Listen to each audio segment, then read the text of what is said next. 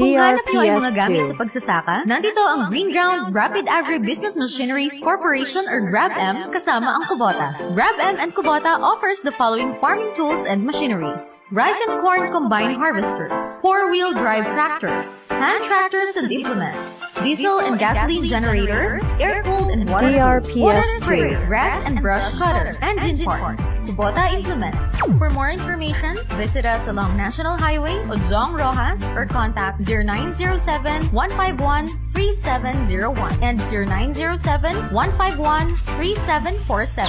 Basta gamit ang mga at makina ng pang-alag na sa sagutan ng Grab at Kubota.